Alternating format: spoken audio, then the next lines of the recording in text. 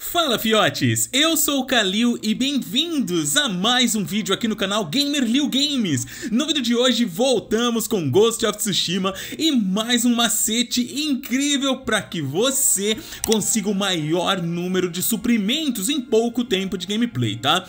Repito aqui, ok?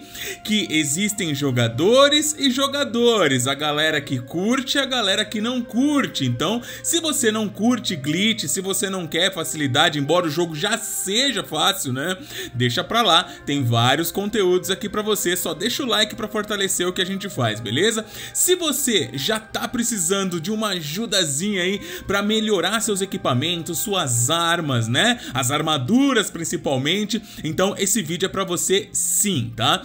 Claro que se trata aí de um probleminha no jogo, um glitch, e há games que nunca corrigiram os seus, né? The Witcher 3, como aqueles que foram corrigidos também rapidinho assim que a empresa soube, certo Odyssey? Como a gente não sabe se vão ou não corrigir isso rápido, vale a pena você correr lá para fazer, né, e ter aí o maior número de recompensas possíveis, como eu vou mostrar. Vale lembrar também que existe um amuleto no jogo por nome Inari, que quando equipado aumenta o ganho de recursos. Por isso é importante você estar tá equipado com ele para estar tá fazendo os procedimentos a seguir, tá? Caso ainda não tenha pego seu, é possível logo no início do jogo e eu mostro no vídeo que tá passando aqui no cardzinho, ó. Só clicar aqui em cima, vai lá pegar, depois você vem pra cá. Bom, pessoal, é o seguinte, estando em qualquer lugar do mapa, venha exatamente para este ponto. Olha aqui, destrua o estaleiro.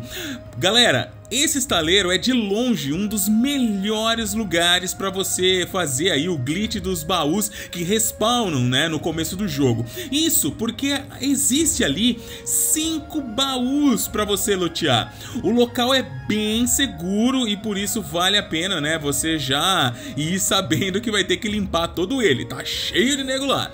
Os baús, eles estão nos seguintes locais, pessoal. Olha aí. O primeiro, logo na entrada do estaleiro em uma das cabanas.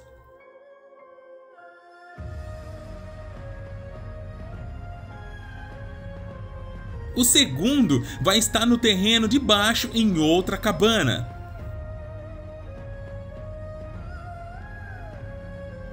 Agora, já na praia, você verá um navio, pessoal, e bem abaixo aí da proa existe o terceiro baú. Agora você já em cima do navio, né? O quarto fica exatamente na proa.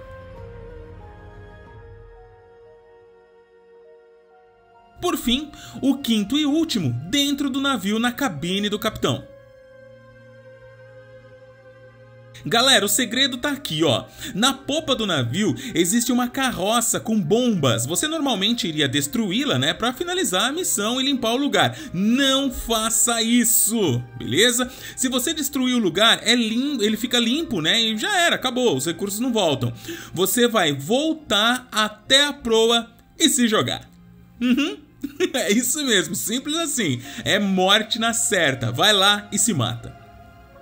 Quando o jogo te trouxer de volta, os inimigos que você eliminou não vão respawnar, mas todos os baús sim! Olha que beleza! Basta você repetir o mesmo procedimento infinitamente. Lembrando que os suprimentos eles são essenciais, repito aqui, né, para upar armas e armaduras, tá? Por isso, vale sim cada minuto investido aqui.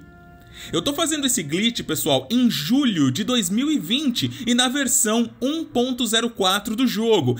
Caso você esteja vendo esse vídeo meses ou anos depois, testa aí. Funcionando, comenta aqui o mês e ano que você testou e funcionou para que mais pessoas possam utilizar sem erro, beleza? Se não funcionou também, comenta aqui, tá bom?